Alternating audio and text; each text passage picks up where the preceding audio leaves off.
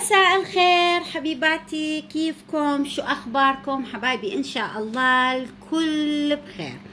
حبايبي اليوم الوصفة تبعتي هذه المرة راح نعمل وصفة للشعر لتغذية فروة الرأس وترطيبها وتمنع تساقط الشعر وتقلل التقصف وتهدي فروة الرأس من الحكة وبنفس الوقت تزيل القشرة. هذه الوصفة كتير منيحة لصاحبات الخوات اللي شعرهن كتير ضعيف آه، الشعر كتير رقيق وبنفس الوقت هش وبتقصف آه، يمكن يستعملوه جميع أنواع الشعر وبنفس الوقت صاحبات الشعر الدهني. كمان كتير كويسة. وصفة كتير سهلة وكتير بسيطة وما راح تاخذ وقت من عندكم حتى للخوات الموظفات. راح تكون عادة زيها زي كأنك دا تاخذين دوش يعني شغلة ما راح تطول على راسك وما راح تاخذ وقت كتير طويل وراح تعطي آه شلون نقول نتائج كتير حلوة. للحصول على أفضل النتائج. لهاي الوصفة لازم تعمليها وما بتنقطعي من عندها كل أسبوع مرة. هي علاج لتعزيز وتغذية نمو الشعر. زين وتخلي للشعر يعني خاصة أكو شعر متوقف ما بيطول بسرعة راح تعطيه آه، دفعة آه، شلون نقول عشان يطول وبنفس الوقت. تخلي فروة الشعر مرتاحة وراح يطول. بالنسبة حبايبي وأنا بحكي لكم كل هذا الحكي أنا كتير نوبات أشوف تعليقات آه، تلغي كتير بتحكي كتير بتعمل كتير. أنا حبايبي بعطيكم هذا الحق يعني بدي أعطيكم مقدمة هيك طويلة مستحيل أنا أطلعه. آه، يعني أجي أحط أي شيء على شعري إذا ما بقتنع بالكلام. يعني أنا جاي بقول لكم حطوا فلان شغلة. طيب أنتوا هاي شغلة تعرفوها حارة مثلا. آه هاي الشغلة آه كتير قوية. الإنسان بده يطمن قلبيا يعني قلبي يطمن وأقتنع فيه عشان أقدر أحطه لأنه مو لعبة. البشرة أو الشعر نيجي نخليه على شعرنا وبعدين شعرنا كله يتساقط. إن شاء الله هاي الوصفة كتير حلوة وراح تنال إعجاب أنا متأكدة الجميع. وصفة زي ما قلت لكم كتير سهلة وكتير آه، بسيطة. طبعا راح تحتاجوا إلى جوزة الطيب. جوزة الطيب معروفة هاي جوزة الطيب. في أخت مرة راسلتني قالت لي أنا من بكسر جوزة الطيب آه بتجي هذا قشر وجوه مثل الجوزة يعني هذه الجوزة. طلعوا هاي الجوزة. آه كيف يعني أنا هاي الجوزة أرميها؟ لا ما بترميها. في نوبات تجي مفصولة؟ طيب ونوبات تجي ماسكة مع بعض. على فكرة اللي تجي ماسكة مع بعض بتكون يعني جديدة. طيب هو ما يعني أقول لكم إذا لقيتوها بتطلع يعني شو اسمه؟ لا لا هي حتى وانتوا تحكون نوبات بتطلع. أنا بفضل دائما جوزة الطيب أو القرنفل أو الفلفل الأسود. أحبة بتكون حبوب يعني هيك. وانتو تطحنوها وقت بوقتها لأن فيها زيوت الطيارة كتير كويسة. ما بدنا إياها تروح هاي الزيوت وتنشف على البهار وما لها أي فايدة. أنا بسوي هيك ودائما أطحن. يعني هسه قبل عرض الفيديو أنا طحنت زين قليل لأني قاعدة أسوي كبسة فمحتاجة كمان هذه البهارات. المهم حبايبي جوزة الطيب تستعمل هي كلها راح ناخذ حبايبي قليل من جوزة الطيب وراح ناخذ قليل من القرنفل وهذا هو القرنفل. أنا كمان طلعت لكم إياه هذا هو القرنفل. طيب راح نحتاج قليل من القرنفل وراح آه نطحنه مع بعض. يعني مو مشكلة إذا طحنتوه مع بعض أو طحنتوه كل واحد الحالة ابدا مو مشكلة. زين راح نحتاج كمان القرفة.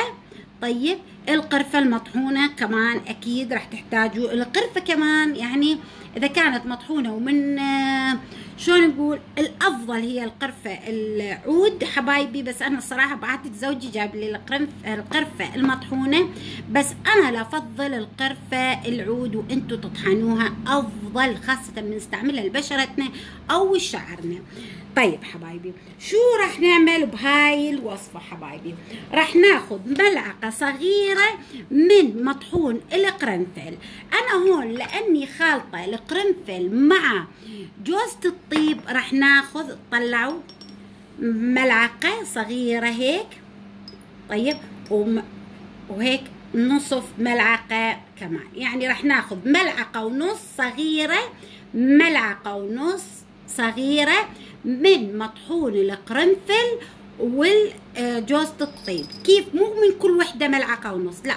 نطحنها مع بعض وبعدين ناخذ من مطحون القرنفل وجوزة الطيب ناخذ ملعقة ونصف. نطحنها مع بعض وناخذ ملعقة ونصف. زين لأنها هذه كتير قوية كتير قوي عشان هيك بحكي لكم ملعقة ونصف.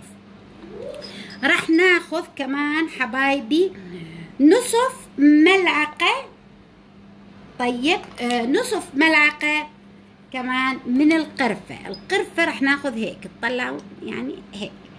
لا تخافون يعني حتى تطلعوا هيك يعني شوية نقلل هيك.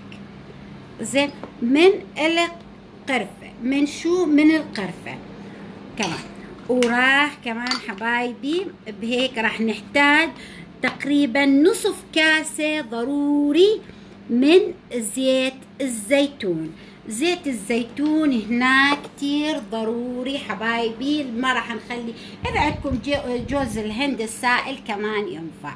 بس إحنا راح ناخذ طلعوا نصف كاسة الشاي إذا زادت ما راح تأثر. وإذا نقصت شوية كمان ما راح تأثر. طلعوا راح نخليها هيك وحاولوا أخلطوه كتير كويس. هذا حبايبي تقدروا بنفس الدقيقة نستعمله. لا مو ضروري يتخمر أو شيء. وبعد ما تستعملوا آه يعني تخلوه بأي مكان عندكم عادي يعني بالحمام بأي بوفيه وجنب البهار مو أي ما في أي مشكلة. بالنسبة لهاي الوصفة حبايبي كتير منيحة هسه بحكي لكم إياها كمان شو بتقدروا تستعملوها. حبايبي هاي الوصفة قبل ما تستعملوها يعني اليوم هسه أنا بدي أتحمم وأستعملها. شو أسوي؟ آخذ قليل اللي يكفي شعري اللي يكفي شعرك. يكفي شعرك ملعقتين أكل ثلاث ملاعق أكل أربع ملاعق أكل. شو بتسوين؟ قد ما تاخذين منه. اللي يكفي شعرك تاخذين تخلين معاه ملعقة صغيرة جدا من أو وسط مو مشكلة من العسل الطبيعي. عشان تاخذين نتيجة كتير حلوة لازم تخلين العسل بحالة حبايبي. ما في العسل مو مشكلة حبايبي ما راح يعني تأثر تقدرون تخلون معاها.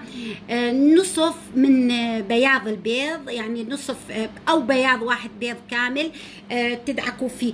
يعني تخلون الزيت مع البياض البيض وتخلوه. ما في لا يعني ما حابة البياض البيض وما في العسل ضروري جدا العسل. اللي بدها نتائج كتير حلوة تخلي العسل. ما في عندي بديل الصراحة. يعني بياض البيض بس عشان كمان أو صفار البيض كمان الصراحة حسب أنا بفضل دايما صفار البيض للشعر لأنه بيه بروتين كتير. آه الماعدة تقدر تحط صفار البيض كتير كويس كمان للشعر. بحالة ما بدها صفار البيض ولا بياض البيض وما في عسل بتخليه تقدر على راسها. كل الأحوال تخلوه 15 دقيقة على الشعر. 15 دقيقة على الشعر وتلبسين القبعة البلاستيك اللي هي تبعت الدش تبعت اللي نلبسها بالحمام الزيتي تحطيها 15 دقيقة وبعدين تغسلين شعرك كالمعتاد. بالنسبة للخوات اللي عندهم كلف ببشرتهم عندهم كلف كتير بالبشرة تبعتهم وعندهم بقع كتير ببشرتهم. ما عندها تحسس من هذه المواد. حبايبي تقدرين تستعمليه تاخذين هيك. طلعوا هيك وتحطيه على مكان شو اسمه وتفركيه يوميا على هذا المكان اللي عندك فيه آه كلف كتير كويس.